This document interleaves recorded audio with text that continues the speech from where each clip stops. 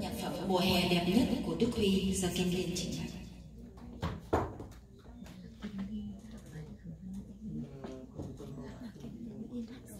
Mm-hmm.